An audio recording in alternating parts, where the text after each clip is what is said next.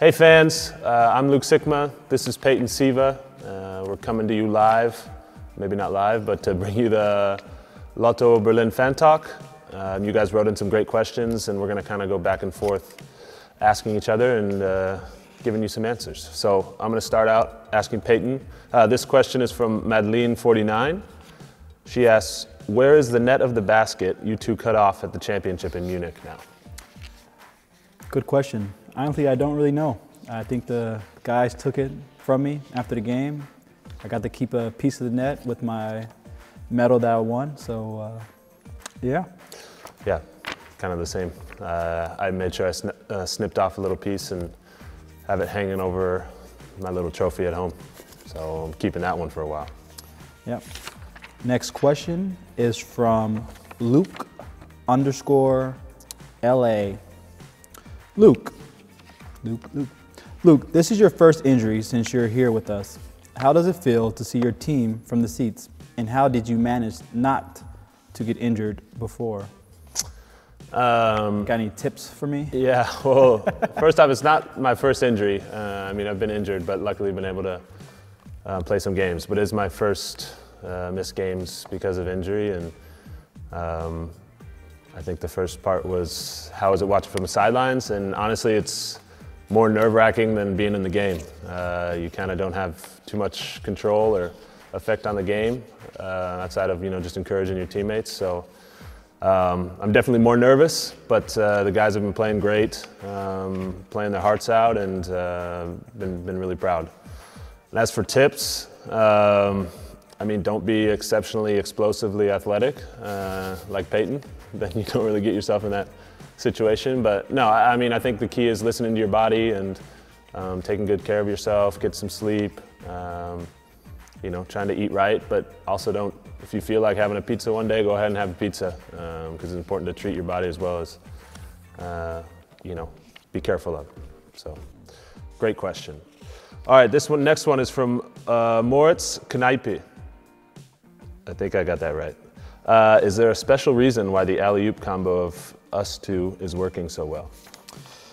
I think because Luke is such an athletic, explosive player, that I can just throw it anywhere nice. around the rim and he goes up there and gets it. And a lot of years and a lot of practice time uh, that we spent working on it. So kind of have that little connection there that helps out a little bit. Yeah, it's uh, was it going on four years now? So we've had some practice. Classic, classic, yeah, classic, classic. Next question is from Claudie Berlin with two eyes. What's your favorite place in Berlin? Uh, my bed? No. Uh, I don't know. There's so many great places. Um, immediately, my mind jumps to like food because uh, I love to go try out the new restaurants. So, um, I mean, there's Panama, uh, there's Katz Orange, uh, Volver, uh, my special breakfast place, Banda Cafe, and that I go to way too often. Um, miss it during lockdown, but uh, looking forward to them uh, opening back up and, and getting back and uh, enjoying that part of life. Um, Peyton, this is from Rovin Lassan. Do you watch NFL games of the Seattle Seahawks together as you both come from Seattle? No, we do not watch Seattle Seahawks games together. I tend to watch the late games from the Seattle Seahawks. I'm just a huge NFL fan. I play a lot of fantasy football, so I like to keep up with my teams. Luke likes to watch some of the games when he's not asleep. Uh, Correct. And we talk about it the next day, and we now it's playoff time, and hopefully we can go a little further this year than last. Yeah, more of a highlights the day after guy, but uh, still Seahawks fan. Go Hawks. Go Hawks. All right. Baby. Next question from Tolik 1809. What are your three favorite words in German? Okay, oh, this is great. Um, I, th- I, would say like phrases. Uh, alles klar is number one. Very universal, widely used, easy to say, and similar to what it is in English. Number two is, uh, actually, number two is probably number one, but Sprudelwasser Uh, I know Peyton as well. We're big Sprudelwasser guys, so and it's also a great word to say. And number three is um, well, I'll go food again. Kaiserschmarrn. So it's my favorite German dessert. So uh, yeah, I like those three. I got one, and it's Aufgeht's. I guess nine, and those are as far as my uh, Guten Morgen. Yeah, that's my Yeah, little phrase. solid, solid, useful. Okay, Pay, um, from Plip Ross, what is it like to have three games a week? It's very tiring to have three games a week. It's fun in the sense that you get to go out there and play. Uh, I enjoy it personally. If we didn't have to travel so much, I think the traveling is the worst part of it. Um, but you know, from a player's perspective, I enjoy playing the game. I enjoy going out there and competing. It is a little tiring, but I think the travel is what actually gets us. And I think our coach doesn't like it so much because he much rather practice. But as a player, I enjoy just going out there and hooping. All right. Next question. Nicholas ZRZ. At what age did you dunk for the first time? Oh man, it was way later than I probably after Peyton, to be honest. Um, you know, like I said, I'm not the most explosive guy, um, and I also wasn't too tall for most of my childhood. So I had a big growth spurt when I was about 14. I think I grew like what six inches in a year or something like that. Um, I don't know, it's like 10 centimeters. I, my Same. conversions are terrible. Uh, so uh, I think it was my sophomore year of high school. I finally was consistently dunking in warm-ups, of course, not in actual game. But uh, so that was 14, 15 years old, something like that. So been slowly improving that part of my game, though I think it's kind of might be going on the decline. I like a layup a lot better. Okay, my turn. Uh, this is from Winston Marks. What do you think about your new teammates, and how does the team of this season compare to last season? Good question. It's a great question. So some of the new guys, Jason is a great player. Um, glad to see him healthy. Great leader. Um, just does everything right for our team. Uh, Slylo Money, Maodo Lô, uh, really great player. Also Tough. tough. Uh, you know, he has a, a flair and a kind of swag to his game that's you know enjoyable to watch. And I'm glad I don't have to play against him this year. Exactly. Uh, we have Simone Fontecchio, my man from Italy, uh, the Italian stallion, just a strong guy, uh, sneaky athletic, can score anywhere on the court, which is uh, fun to watch. Then we have Ben, the laminator, Lammers, who surprised me a lot this year just from his jump shot and um, the way he's able to get off the ground quick and block shots. And just how loud and outgoing and like socially active he is too is uh, was you know great surprise. And then we have, um, I'm forgetting, Lou. Lou. I don't like him. Okay. Um. Louis Olinde, Louis. nah, he's a very charismatic guy. You know, he's, he brings a lot of energy to the team. Uh, great player. You know, he's he's learning a lot under our Aíto's system, and um, you know, he's shooting the ball well. He's doing every little thing that we need for him, and you know, he's a fun guy to play along with. So, as far as everybody from how this team compares to the last couple years, Are we, are we missing someone? We have that? that's everybody. Okay. Yeah. Malte, young guy. No, no, he's been around longer than I have. Yeah, same. Um, but I would say from this year to the last couple years, uh, teams is is just new guys. You try to get adjusted to them. Um, it's tougher this year with uh, COVID and everything. You don't really get to spend as much time off the court with these guys as we've had in the past. And uh, so I would think just the chemistry wise of spending off the court is a little different, but with all these road trips and travel, we get to make that time up and uh, spend time to get to know these guys better. And uh, as you can see, our chemistry and those guys learning the system is getting better day by day by day. And you can see it in the game, guys getting more confident, um, learning the system, and yeah. All right, my turn. Any guys that you want to say? Anything you want to say about the new guys? No, you pretty much hit it on the head. I mean, uh, most importantly, they're all really good guys. Uh, I think our locker room's really strong this year. Um, great chemistry, and I think that's showing on the court. That's it. All right. Next question from Vicky Bach. What is your preferred vacation destination, where you have never been before, and what you like to visit one day? Okay, so three-part question, right? So favorite vacation destination, um, have to say Hawaii, Maui to be specific. I'm a big beach guy. Um, went there a lot, you know, as a family uh, growing up. So have some good memories, great food, love the vibe. But um, yeah, that's yeah vibes. That's got to be number one. Um, the second one is where do I want to go that I've never been? I think top of the list is Japan. Uh, I know mostly for the food. Um,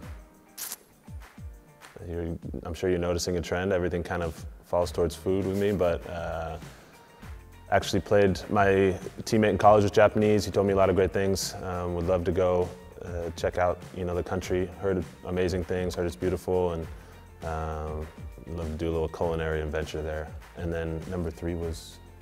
No, it was, it was just two parts. Oh, it was just two parts. Uh, never mind. That's it. okay. Uh, next question comes from TD 0175. Uh, which was your Alba home game with the best atmosphere so far, and how do you miss the fans in general? I think the Alba game with the best atmosphere would have had to be either the Valencia game during the Cup finals, where we had the home game, or the Oldenburg game when we won the, the cup. Uh, cup. Yeah, the Cup, the Oldenburg game for me. For yeah, sure. and I think just that, just the excitement from the crowd, the actually getting a chance to win like a, you know, championship in front of our home fans was pretty amazing. Uh, they showed a lot of love, a lot of support, and uh, it was just a great feeling overall. And you know, we missed them a lot.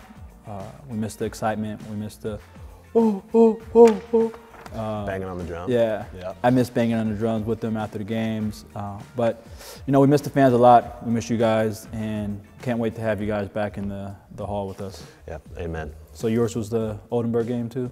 Yeah, it'd have to be a cup, and I think how uh, literally had to change the whole arena just so we could play that game after the Eisbären game. Yeah. So. Um, you know, I think the energy was incredible, and uh, to be able to finally celebrate that cup with them was, was awesome. All right. Tanja, Rick, Luke, what's golf like without Martin? And what do you think of yours truly, Peyton's golf skills? Okay, another two-parter. So uh, my golf game without Martin, um, I think is actually getting a little worse. Probably because we're not playing as much. Um, but uh, it always brought out a little competitive edge with me. Uh, we like to compete against each other. But um, I know his is doing okay. He's got that sunny weather in Valencia, so he's playing plenty. Um, and as for Peyton's golf game, it's, uh, I mean, he doesn't play a lot, but uh, know he invested in some golf clubs, so. Yep. Um, Can't I go think, anymore. Yeah, eventually. But he's, um, I mean, great swing. Uh, I got a birdie got a birdie. Um, we were playing mini golf, but still is a birdie. um, no, but uh, you know, it's something that I'm sure he's going to really improve at. Okay, this is from Kölner in Berlin, underscore underscore. Peyton, would you let Luke look after your kids so that you can have a relaxed evening with your wife? Yeah, of course. Uh, my kids love Uncle Luke. You know, he gives, he plays the high five game with them. Um, Tough high five game. Yeah, yeah. they uh, really enjoy that. But Luke's a dependable guy. I, I, I trust him with my kids. Yeah. That means a lot. Thanks, man. Thank you. Uh, I'm available for babysitting. No, I'm just kidding. But uh, I did I did do some babysitting when I was growing up, so I'm pretty good with kids. Martin Stersky how important is friendship for a professional basketball player, and does this kind of friendship depend on the success of a team? That's a great question. Um, I think and I know I can speak of you know playing with Alba for this many years and have played on teams that are really close in the past, but having uh, guys who you can consider friends on your team. Um, I think first off, it's great just to be able to work with people that you enjoy, you know, spending time with and, and that care about each other. And I think that, you know, definitely translates to the court. Uh, I think, like I said, we've had always a close locker room here, and uh, I think that's a huge part of, you know, what gives us, you know, extra edge. And you can see how we play and read off each other on the court. So. Uh, it doesn't happen everywhere, but uh, I'm very fortunate, very lucky that you know that happens here uh, with this team, and um, you know I think these are friendships that we'll have for a lot of years to come. So uh, I feel very fortunate, and uh, sure Peyton can probably speak on it as well. But uh, you know it's not super common in professional sports, but um, lucky that it like, that we got it here. Yeah, I agree. I think that you know having the chemistry that we have on and off the court plays a big role. Uh, I think guys that we've have played with in years past since being here, that you kind of build this bond and this brotherhood that uh, is much bigger than on the court that you can kind of you know take with you for the rest of life. And it's, I think it's very important to kind of build those bonds to you know just enjoy playing with each other on the court, enjoy seeing each other at work every day, and that's something that you know has been really big for myself here at Alba. Uh, just enjoying the chemistry, enjoying actually coming to you know be around these guys every day. It's not a miserable task. So I think that's very important in professional sports because it's not like that everywhere. So huge. Okay, uh, last question. This is from Lelaina. Lelaina. Sorry. Uh, how did you celebrate Christmas this season? oh, I can tell you how I celebrated Christmas. Uh, my Christmas consisted of me waking up, uh, playing PS4, and I was playing a little bit of Call of Duty, playing a little bit of uh, Ghost of, was it Tsushima? Waited for my kids to wake up because they were back in the States. Uh, if you ever seen the Modern Family episode with Phil, I was the iPad robot that just sat in the corner of the house, watched the kids open presents, and I just had my iPad set up while I just stared at them the whole time. There was some moments during the day where the iPad was flipped up and I was just staring, staring at a screen. But uh, yeah, fun, fun Christmas. And uh, Luke also invited us over for a dinner with uh, the guys who were by themselves, which was me and Kresh. And he cooked, which was an amazing meal. We hung out, chilled, played a little game, and it was, it was great, great times.